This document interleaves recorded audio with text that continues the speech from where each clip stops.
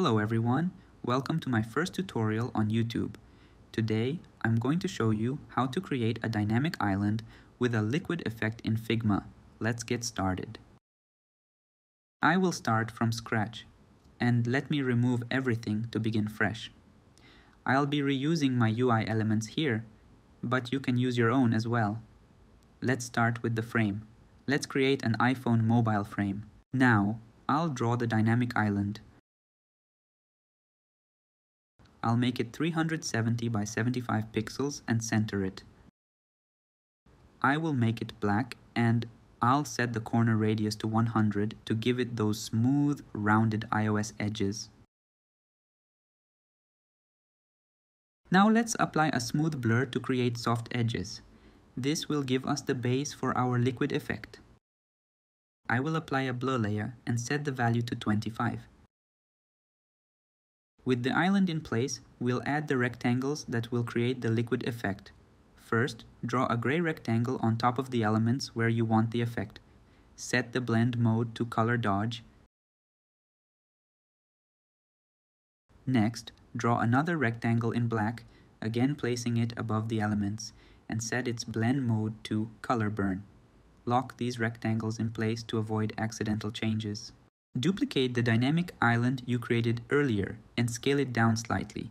This smaller version will act as the modal. Now add your UI elements to the screen. Let me add some details such as the arrow and a label here. Now, I'll duplicate the frame. In the second frame, Let's change the width of these buttons to be outside the frame. Let's move these elements to the bottom. Let's move the smaller island that we made earlier to the center. Let's make it like this.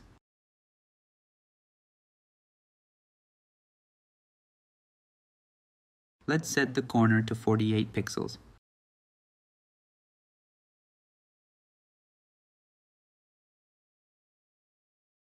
Let's move the arrow to the center and set its opacity to zero.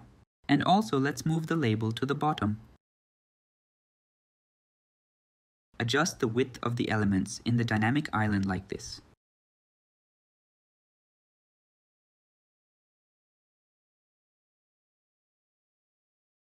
Let's add the elements of the second screen and move them to appear like this. Let's fix this. It's time to switch to prototype mode now. I will add a click interaction to these elements to navigate the second screen with Smart Transition Animation. Also, for these elements, I will add drag interaction with Smart Animation and link it to the second screen. Now let's go to the second one and repeat the drag interaction with Smart Animation. Add click interaction to the close icon with Smart Animation as well.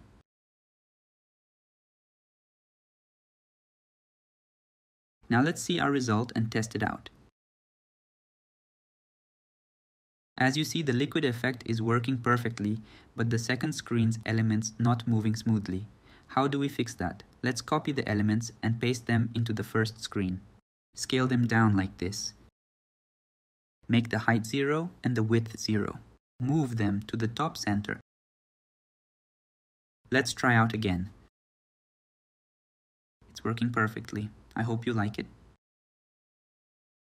That's it. Thank you for watching. If you want to share your work, feel free to do so and let me know your results. I will be happy to have you on my LinkedIn and X accounts. See you!